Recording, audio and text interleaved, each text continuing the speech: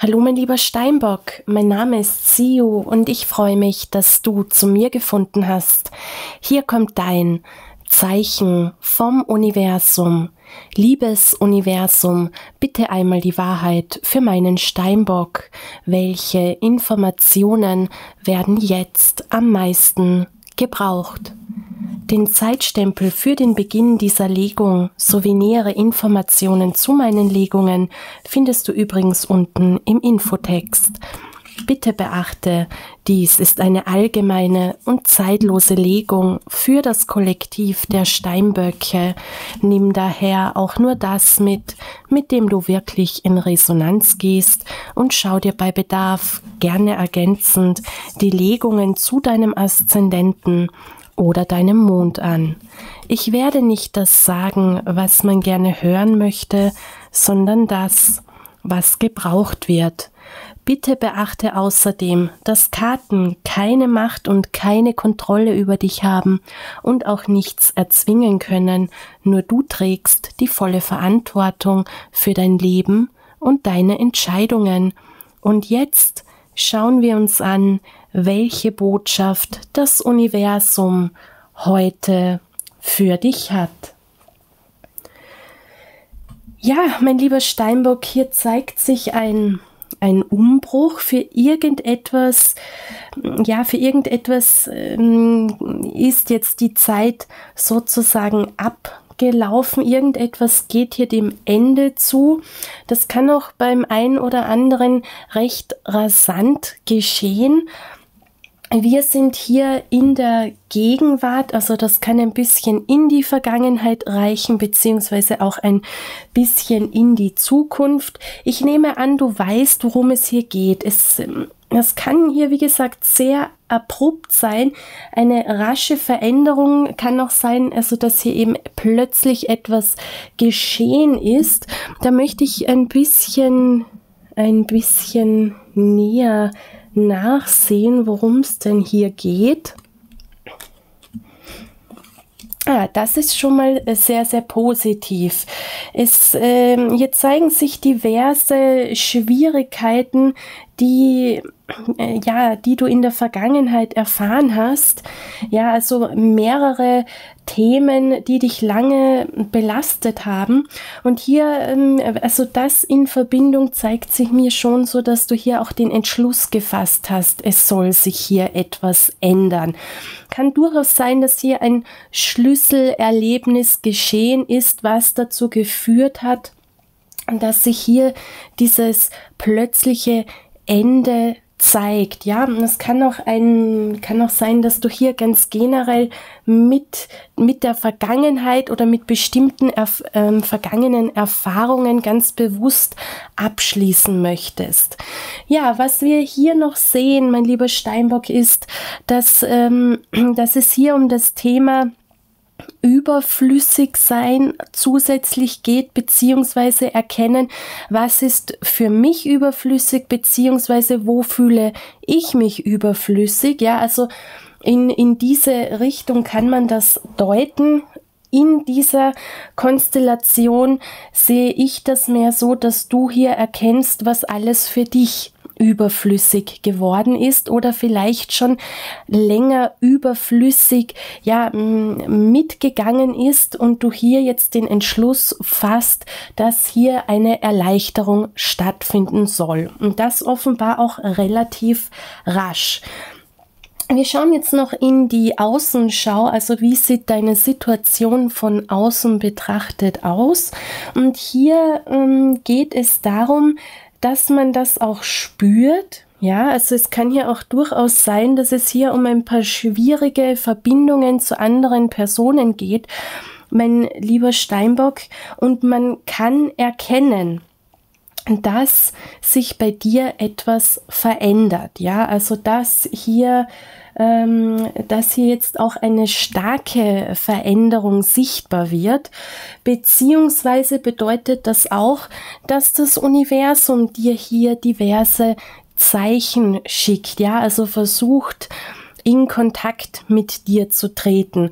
Das kann man auch ähm, recht äh, unspirituell auslegen im Sinne von dein Unbewusstsein beziehungsweise dein Unterbewusstsein möchte hier möchte sich hier mit deinem Bewusstsein verbinden, etwas ins Bewusstsein bringen, ja, das ähm, das äh, kann es auch sein, beziehungsweise wenn wir diese Karte bekommen, ist das auch ein Hinweis, dass du hier vielleicht ja in letzter Zeit diverse Synchronizitäten wahrnimmst. Ich meine, wir haben jetzt hier keine Engelszahl in der Legung, aber das ist nicht so ähm, wichtig, Wichtig ist, dass du hier auch offen bist für Zeichen, denn das bedeutet auch, dass du hier ja, ja diverse Hilfestellungen bekommst, ähm, wie du hier weiter vorgehen kannst. Vor allem eben, ich habe hier das Gefühl, es geht hier um einen Neustart, der hier sehr wichtig ist und dementsprechend solltest du zu einer bestimmten Uhrzeit immer wieder auf die Uhr schauen. 11.11 Uhr .11 ist ja quasi in, in dieser Hinsicht der sogenannte Klassiker. Es gibt natürlich auch noch andere Uhrzeiten, wie beispielsweise 14 Uhr 14, 14 Uhr 41, 22 Uhr 22 etc. etc. Also man findet das immer wieder wenn dir hier so etwas auffällt und das häufiger geschieht, ja, dann ist es wirklich empfehlenswert, sich hier mal ein bisschen einzulesen, beziehungsweise wenn du dich da schon auskennst, dich mit diesen Themen ein bisschen zu befassen, denn da kann es sehr gut sein, dass du für dich erkennst, wie du eben weiter vorgehen möchtest. Es können auch andere ähm, Zeichen auf dich zukommen, wie beispielsweise Krafttiere, Symbole, Symbole, die für dich persönlich etwas bedeuten, ähm, etc. etc. Ja, also sei offen dafür, sei offen für das, was hier auf dich zukommt. Du wirst, du, du wirst hier ein bisschen, du wirst hier auch geführt. Ja, dein Weg ist beschützt. Und man nimmt es auch im Außen wahr, dass sich bei dir etwas tut. Wir schauen jetzt aber mal in die Blockaden, die hier aktuell hochgefahren sind. Denn genau diese Blockaden sorgen eben jetzt in dieser Situation dafür, dass sich die Dinge ein bisschen schleppender voranbewegen, sorgen für Verzögerungen, für für Stillstände. Und genau diese Blockaden sind jetzt auch bereit aufgelöst zu werden. Wir schauen uns im Anschluss die Lösungsimpulse vom Universum an, aber es kann natürlich durchaus sein, dass hier die ein oder andere Blockade dabei ist, die dir einfach nur bewusst werden soll, um damit schon in die Auflösung gehen zu können. Ja, da würde ich sagen, starten wir im Umfeld wir schauen uns ja auch immer eine Blockade an, die direkt mit dem Umfeld zu tun hat. Und hier zeigt sich eine Belastung. Ja, also das, ähm, das bedeutet, dass es hier mindestens eine Verbindung gibt bei dir, die sich als belastend, äh, die, oder die sich jetzt gerade belastend anfühlt. Achtung, das heißt natürlich nicht, dass man hier einen Kontakt abbrechen soll, sondern es ist wichtig, mein lieber Steinbock, dass du hier deine eigenen Grenzen erkennst, ja das ist, das ist etwas, das dich offenbar auch ein bisschen von diesen Zeichen ablenkt. Ja, also ähm, was jetzt nicht heißt, dass das hier negativ ist. Deshalb schickt das Universum auch diese Karte dass du hier ein bisschen offener bist für die Zeichen, die da daherkommen für dich, damit du hier, ja, also damit du hier dann auch weiterkommst. Und es gibt hier offenbar irgendein Thema im Umfeld. Das muss keine Person sein, zu der du ein negatives Verhältnis hast, ja. Das kann beispielsweise jemand sein, der vielleicht gerade ja, deinen Rat sehr oft braucht, ja, sehr viel Aufmerksamkeit gerade braucht, weil vielleicht, äh, ja, vielleicht gerade einiges bei dieser Person in der Schieflage ist. Ja, also so etwas kann das auch sein. Das kann sich natürlich dann in Summe auch als Belastung zeigen. Es kann auch sein, dass du hier sehr viele Verpflichtungen gegenüber deinen Mitmenschen hast dass sich, äh, dass hier aktuell ein bisschen zu viel ist. Das kann jetzt natürlich auch sein, ja, dass wir hier dieses Thema noch einmal haben, wo es darum geht, all das abzuwerfen, was irgendwo zu viel ist und nicht mehr in dein Leben passt. Da geht es jetzt natürlich nicht um die Verpflichtungen, denen wir natürlich im Alltag nachkommen, die nicht immer so viel Spaß und Freude bringen, ja, sondern es geht ja schon um um Verpflichtungen beziehungsweise um Belastungen, ja, die, ja, die sich schon sehr lange sehr schwierig anfühlen. Aber schauen wir mal weiter, was wir hier noch erfahren dürfen. Ja, das Wachstum ist hier aktuell blockiert das ist aber etwas, das rausgehen soll, also eine, eine Art Fülle, eine Art Wachstum soll hier auf dich zukommen. Und so wie ich das sehe, geht es hier auch in hast du das hier ähm, sehr in der Hand und das soll dir hier offenbar auch bewusst werden. Du hast es in der Hand. Und ich habe hier den Eindruck, eben genau mit dieser Angelegenheit hier, wo es darum geht, mit der Vergangenheit abzuschließen, beziehungsweise hier einiges hinter sich zu lassen, dass es hier wichtig ist zu erkennen, dass du aktuell ein bisschen zu stark in die Vergangenheit blickst und es hier wichtig ist, deine Ziele ins Auge zu fassen, ja, denn sonst nimmst du dir nur vor, das abzuschließen, hinter dir zu lassen. Und auch wenn es dann schon weg ist, ja, also dann hältst du aber trotzdem innerlich noch daran fest. Und darauf möchte dich das Universum aufmerksam machen, mein lieber Steinbock, äh, dass du das hier auch erkennst, ja, wo, wo es hier auch nicht darum geht, dass du hier etwas verdrängen sollst, sondern eben auch das zulassen sollst in deinen Gedanken, wo du hin möchtest. Und du strebst hier ein Wachstum an, ja beziehungsweise eine Form der Fülle, eine Zufriedenheit erkenne ich hier auch, ein Auf blühen. Und deshalb ist es auch wichtig, sich dem zu widmen, wo man hin möchte. Schauen wir mal weiter.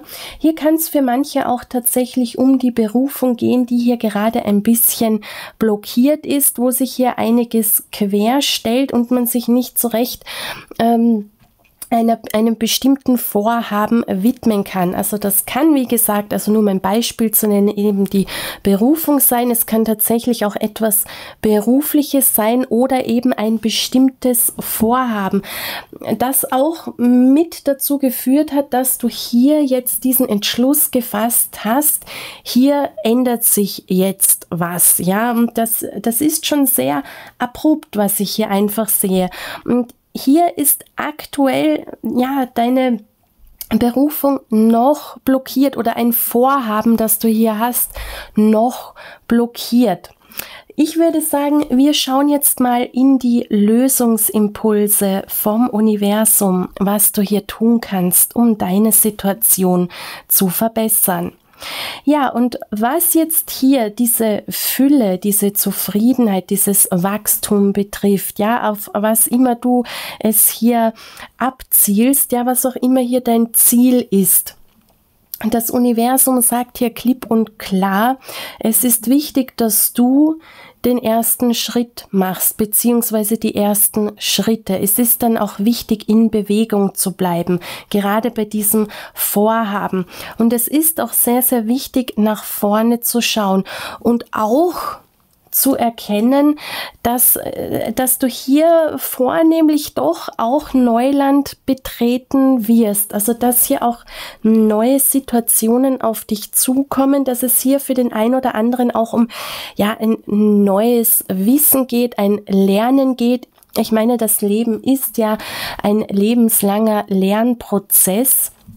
Und um hierhin zu gelangen, ist es wichtig, wirklich selbst zu starten. Also das ist für mich ein ganz eindeutiges Zeichen, dass du hier ein klares Ziel vor Augen hast.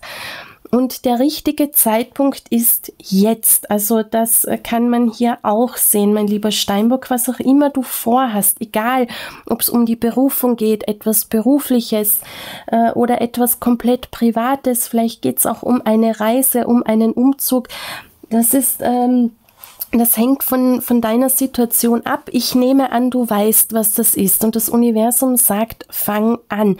Denn durch dieses Anfangen können hier auch einige Blockaden wie von selbst fallen. Beziehungsweise eben diese zwei Blockaden hier, die lösen sich dann wie von selbst. Und das was hier auch wichtig ist, mein lieber Steinbock, denn ich habe hier das Gefühl, bei dieser Blockade, wo es ja um diese Belastung geht, dass du dich hier enorm hinten angestellt hast, ja. Das heißt jetzt nicht, dass das jemand von dir gefordert haben muss, ja, sondern äh, es, es ist ja wichtig, dass hier die äh, deine Prioritäten auch angeglichen werden, ja. Also dass du deine Ziele, dass du deinen Zielen hier auch eine höhere Priorität ähm, beimisst und eben auch startest, denn das wird dir dann auch wohl oder übel zeigen, wo du hier, ähm, wo hier zu viel Energie einfach abgeht oder zu viel Zeit,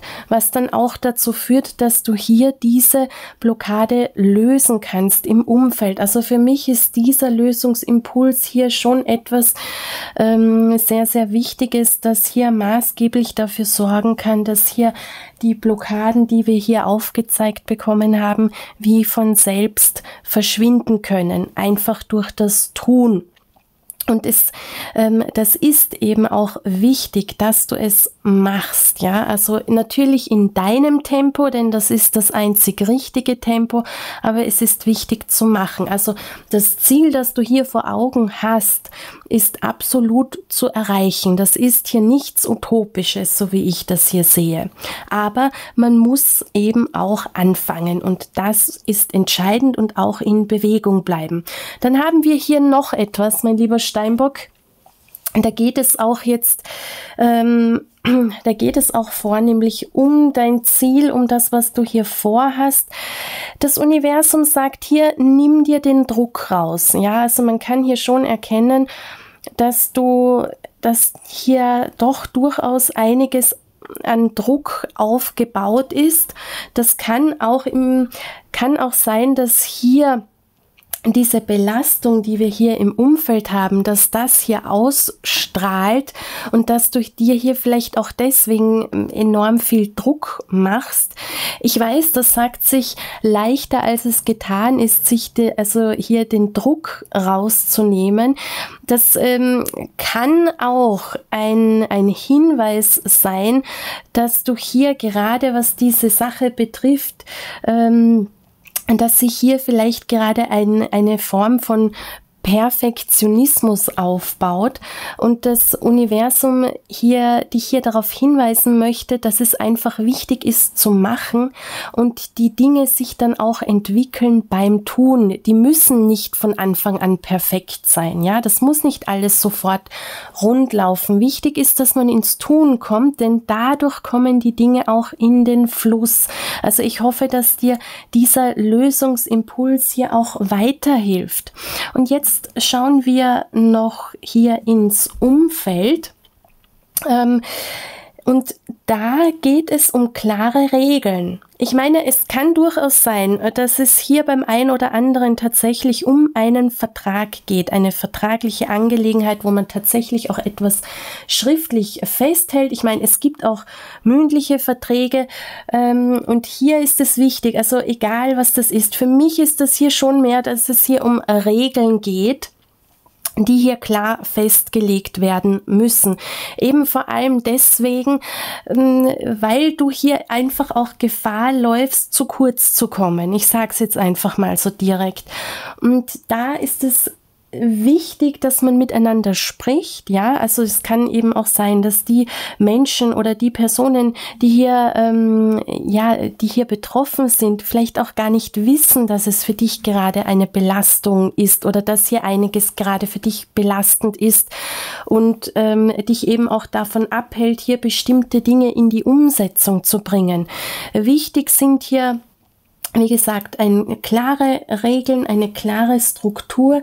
Es ist doch wichtig, dass das Ganze möglichst ähm, deutlich bis ins Detail auch ausformuliert ist, habe ich hier so das Gefühl damit sich diese Blockade hier auch lösen kann. Ja, also das ähm, das, äh, das kann jetzt natürlich jeden betreffen, das kann etwas Berufliches sein, aber ich vermute hier, also so wie sich das anfühlt, dass es hier tatsächlich um private ähm, zwischenmenschliche Verbindungen geht, also vielleicht Menschen im Freundeskreis oder die eigene Familie. Es kann auch um die Partnerschaft gehen, wenn vorhanden, ja, also wenn du in einer Partnerschaft lebst. Ähm, das kann, äh, kann hier jeder sein. Es ist hier einfach wichtig, dass hier klare Regeln aufgestellt werden, klare Grenzen ge gezogen werden, dass hier auch einiges ausgesprochen wird. Und ich denke, es ist auch von Vorteil, wenn man sich hier dementsprechend vorbereitet. Wir schauen uns jetzt noch die Tendenz an, ja, was hier höchstwahrscheinlich als nächstes auf dich zukommen könnte. Und hier können wir auch sehen, dass du es in der Hand hast. Also das Universum sagt hier auf diesen zwei Positionen ganz klar, solange du hier nicht beginnst, ja, du hast hier ein Ziel vor Augen, mein lieber Steinbock, und du weißt offenbar ganz genau, was du willst, ja, und auch ganz genau, was das ist. Und deshalb ist es jetzt auch so wichtig zu starten. Dieser Zustand, also der sich auch hier zeigt, ja, dieser Druck und dieses auch dieses Belastetsein von außen, beziehungsweise ähm, äh, vielleicht ein bisschen zu extrem für andere da sein, ja, also genau das kann sich erst ändern, wenn du hier etwas machst. Ja, also das, äh, das hast du voll und ganz in der Hand. Es kann natürlich sein, dass hier vielleicht, ich weiß jetzt nicht, um, um welche Belastungen es hier geht. Da kann es natürlich wirklich so sein, dass man hier vielleicht einfach ein bisschen Zeit braucht, um sich hier auszusprechen, um das hier zu besprechen, dass sich hier etwas verändert. Aber wichtig ist, dass man das angeht, ja, denn es ist hier eben sehr wichtig für Klarheit zu sorgen, mein lieber Steinbock, denn ich habe hier, was das Umfeld betrifft, auch liegen, dass hier eine Veränderung stattfindet in der Tendenz, ja, also dass hier auch, dass sich hier einiges verändert. Und eine Sache schwingt hier mit, auf die ähm, möchte ich noch kurz eingehen, ja. Es ist ja auch eine, eine Kurskorrektur vom Universum. Und da geht es eben auch darum, diese Veränderung, die hier stattfinden soll, und ich glaube, das zeigt sich eben auch hier zu Beginn der Legung bei den meisten, also diese Veränderung, die du anpeilst, die wird wesentlich ruhiger verlaufen, wenn es hier bei diesen ähm, bei diesem Regelwerk, wenn das hier besprochen ist, ja, weil dann jeder weiß, woran man ist und dann sind die Fronten auch geklärt. Ich meine, es muss jetzt nicht wirklich sein, dass sich hier Fronten gebildet haben. Das, äh, ich denke, es geht hier einfach um ein Gespräch, um klare Grenzen, um klare Regeln und das zieht ohnehin dann eine Veränderung nach sich. Wichtig ist einfach, dass man das bespricht, denn ich habe hier sehr stark das Gefühl, dass sich hier dann ein Missverständnis auch aufbauen könnte, weil ich vermute, dass die Personen oder die Person, um die es hier geht, äh, das noch gar nicht so recht ähm, begriffen haben, dass das hier einfach für dich zu viel ist. Aber Veränderung steht hier auf jeden Fall an und du hast es hier in in der Hand, ja, wann sich hier etwas verändert. Wichtig ist, dass du losstartest und und deinen Zielen beziehungsweise dir selbst hier einfach ein bisschen mehr Raum gibst, mehr Zeit gibst, ähm, dich selber auf eine höhere Stufe stellst, was natürlich nicht heißt, dass du hier irgend, ähm, irgendjemanden aus deinem Leben werfen sollst oder ähnliches. Es ist nur wichtig, dass du dich hier wieder mehr auf deine Ziele fokussierst, vor allem auch, weil sich das hier schon sehr, sehr klar zeigt. Und deshalb ist es jetzt auch so wichtig, loszugehen, mein lieber Steinbock. Wir kommen jetzt zum Abschlussritual und wenn du mit dieser Legung in Resonanz gegangen bist, dann freue ich mich wirklich sehr über dein Like oder einen Kommentar. Und denke auch daran, meinen Kanal zu abonnieren, wenn du das noch nicht gemacht hast und aktiviere auch sehr gerne die Glocke, wenn du benachrichtigt werden möchtest, wenn ich neue Legungen veröffentliche. Ich meinerseits wünsche dir von Herzen nur das Allerbeste. Ich glaube an dich. Glaub an dich. Möge sich der Knoten lösen. Vielen Dank für dein Vertrauen.